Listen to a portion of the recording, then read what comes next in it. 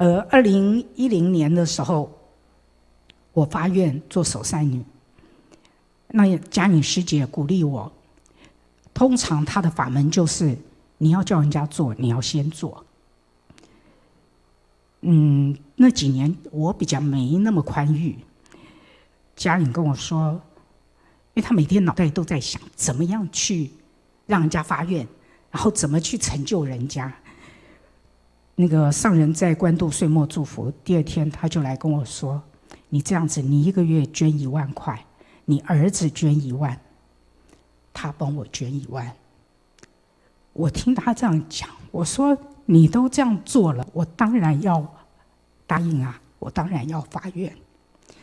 儿子那是一年刚刚从外面的职场回到晋司，呃，在桃园素轩上班，所以租房子八千块一个月，然后捐一万。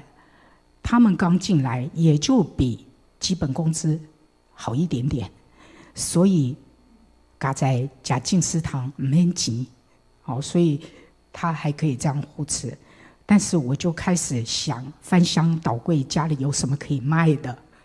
我们家有一个骨灰塔位，买的时候五万块，二十多年前在流行，想要将来可以增值啊。嘎仔问孙亚跟那边几台鸟，不然到现在不晓得要怎么办。然后我就发了 email 给十几个师兄师姐，那时候还没有赖，我就说啊，我因为发愿这样这样这样，想早点圆满，不晓得有没有人需要。那有一个师姐，她马上回我信，她说我实在有够给你感动，我来买了。然后我们两个就去办了过户手续，五万块。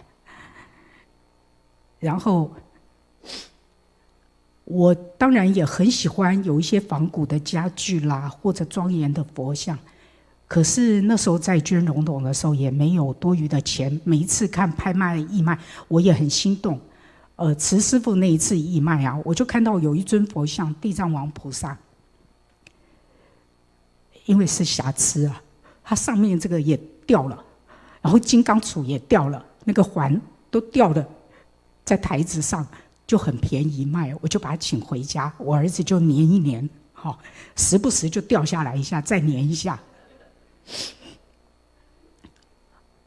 那嗯，有一次呃，把圆满了以后，我就请了一尊义卖的佛像，呃，半身的观世音，很庄严。那这时候呢，我就想啊，把他请出来义卖，刚好在一个。义卖场合，我把他请出来。那我母亲呢，就看到有个师姐好喜欢，左看右看，说：“哦，好庄严哦，我告庄严。”然后我请两万块了。我母亲说：“你喜欢啥？卖你五万。”就这样，有五万。我就这里一点，那里一点。那一段时间，呃，有一个好朋友在。很多年前，跟我借了一些钱，他运气好，那时候我刚好手上有一点闲钱，那我想，地下钱庄都追过来了，我就借给他，我也没打算他会还我。后来他知道我在捐这个溶洞，他就分几次把钱还给我，所以我七个月把这个溶洞圆满了。那在捐这个溶洞的时候呢，我有一次分享在东区会所，我就讲这一段。以前我都要出去，我从大学毕业就出去给人家洗头发。年轻时候我自然卷，所以自己很难吹。我要花一个半钟头去吹头发，发拉头。所以我前面的照片那个就是法拉头。我师兄认识我的时候是法拉头。其实他不喜欢了，然后要捐这个溶洞，开始我就没有出去洗头。虽然以前觉得哎呀，一个月不过一两千块嘛，也没什么帮助，但是那时候想能省就赶快省。